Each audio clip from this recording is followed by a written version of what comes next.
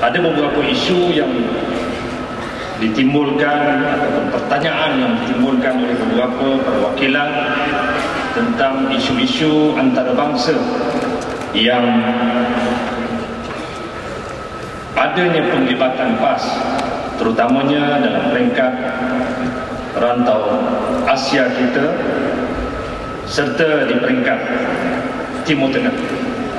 Antaranya dari perwakilan kita daripada Sabah bertanya tentang hubungan kita dengan gerakan-gerakan Islam di peringkat rantau Asia.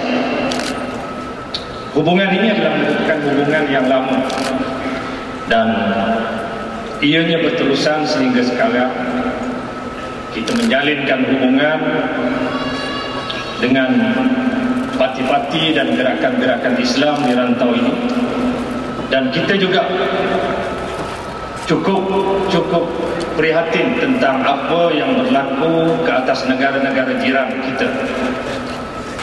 Khususnya di selatan Thailand di selatan Filipina ianya merupakan suatu yang berterusan kita laksanakan hubungan bantuannya dan juga misi-misi kemanusiaannya sama ada PASRI ataupun NGO kita kita laksanakan dari masa ke semasa tetapi oleh kerana sensitiviti yang ada kita zero publicity dari segi hubungan-hubungan terutamanya dari segi hubungan politik yang ada.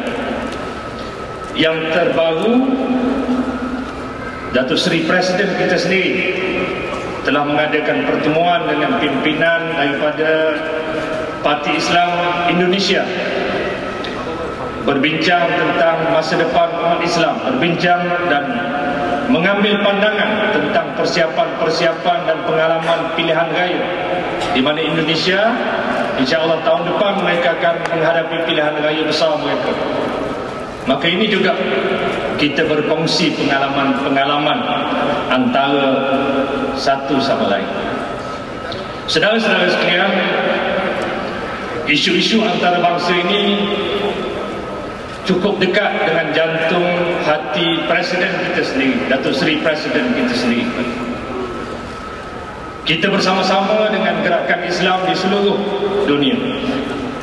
Sebab itulah isu-isu yang berlaku di serata dunia ini kita membuat stand dan ketetapan yang tegas. Apa yang berlaku di Mesir, kita tegas dengan apa yang berlaku. Apa yang berlaku di Syria kita juga cukup-cukup tegas dengan apa yang berlaku di Syria. Di Palestin kita berterusan memberikan sokongan dan dukungan kepada saudara-saudara kita di bumi Palestin. Ramai orang yang bertanya kepada saya tentang Syria sebagai contoh Datuk Seri Presiden telah pun memberikan penjelasan yang cukup jelas tentang sikap kita, stand kita mengenai Syria. Selain daripada itu, kita juga berterusan menyalurkan bantuan kemanusiaan kita kepada saudara-saudara kita di bumi Syria. Dua minggu lepas, beberapa orang doktor kita, jazakumullah khairan kathira, kepada doktor-doktor kita yang masuk ke Aleppo. Mereka berada di sana lebih kurang dua minggu memberikan bantuan perubatan di tengah-tengah medan peperangan di kota Aleppo itu sendiri.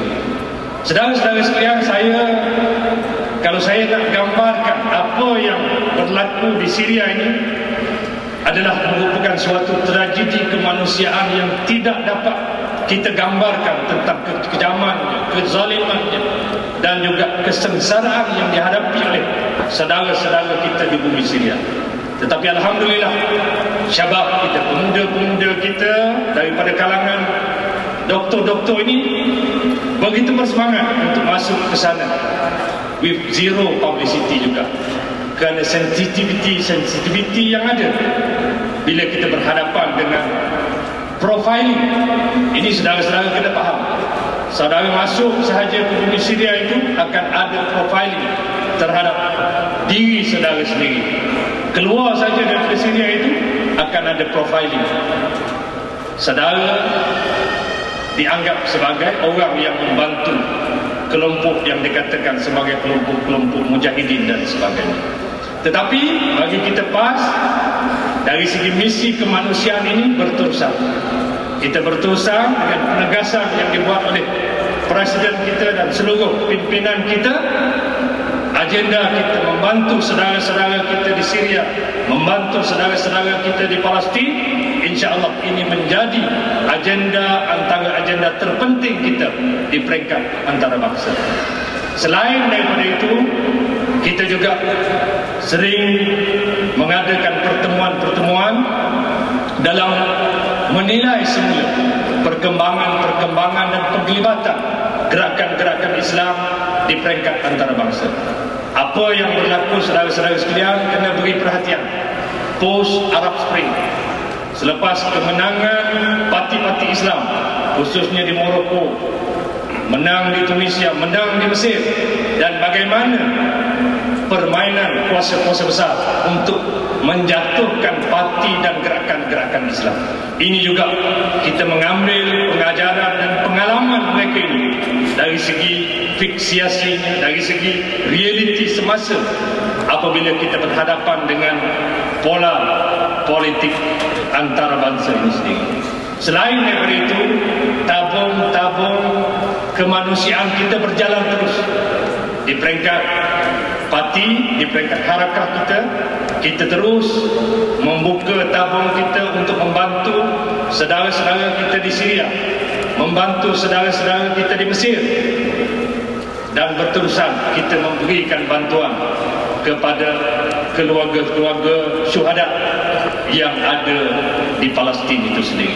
Ya, Jadi saudara-saudara sekalian, saya rasa itulah yang boleh saya berikan sedikit penjelasan tentang isu-isu antarabangsa ini.